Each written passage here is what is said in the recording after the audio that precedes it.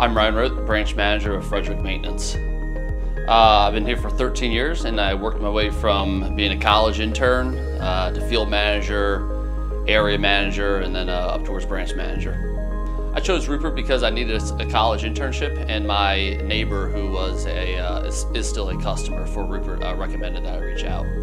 My favorite thing about working at Ruppert is the, uh, the people I work with. Um, become best friends with some of them. I've lived with some of them, been in their weddings, uh, and you know, just really learn a, a tight bond with the people I work around. In my role, my favorite thing is watching the people grow beneath me and uh, challenging people to, uh, to be their best and uh, helping them reach potential that maybe they didn't know they could.